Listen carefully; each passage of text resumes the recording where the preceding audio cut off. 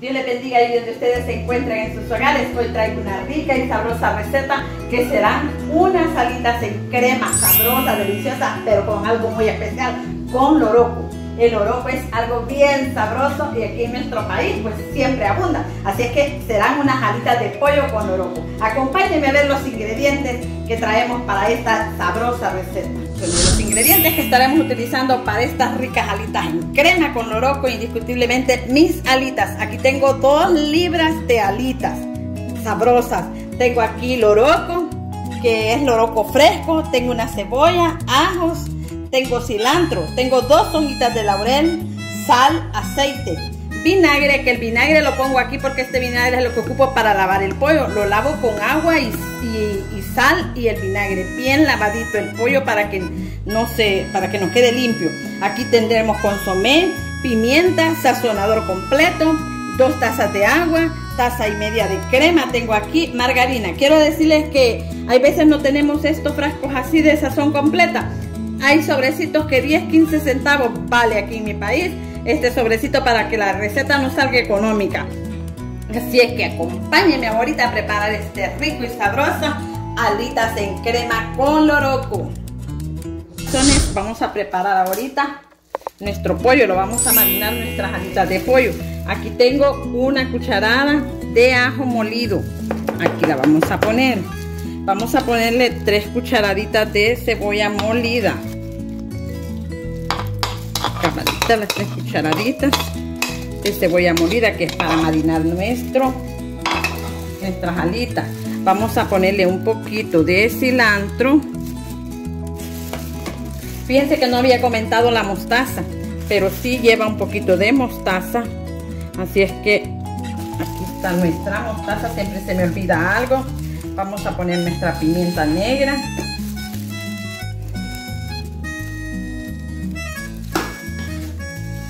Nuestro sazonador completo, que el sazonador completo es lo más rico, que me encanta porque esto lleva todas las especies y es lo que le da el sabor.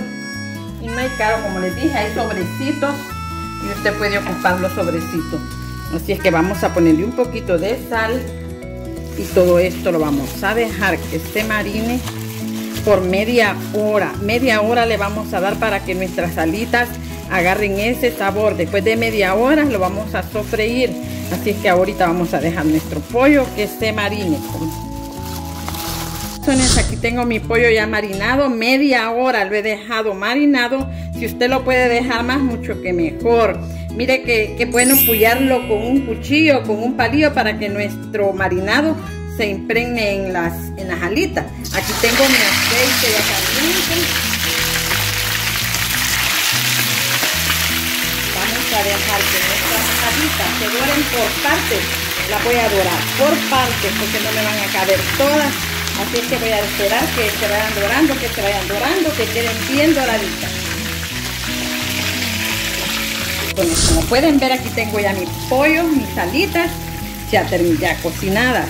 Aquí tengo ya estas que ya estuvieron.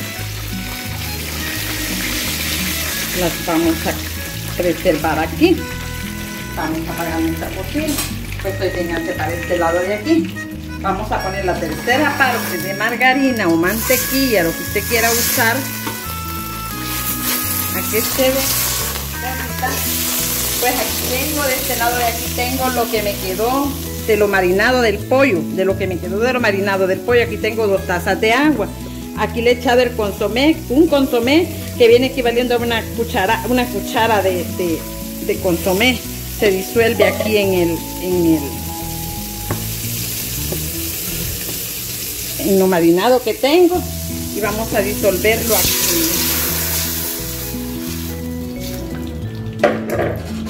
Vamos a dejar que todo esto se disuelva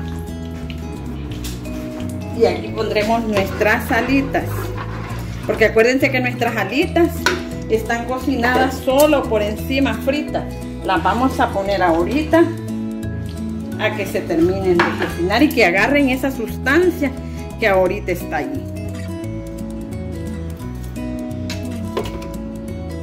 vamos a dejar todo, todo, todo esto se cocine aquí solo le voy a poner este el cilantro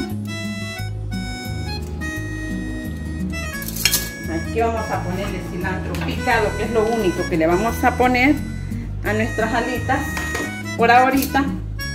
Y vamos a poner que todas, todas, todas se terminen de cocinar. Usted púyelas con un palillo, con un palillo, con un tenedor, con un cuchillo. Que vean que queden bien cocinaditas. Así es que ahorita dejaremos que nuestras alitas se cocinen para poder echar nuestra crema y nuestro loroco.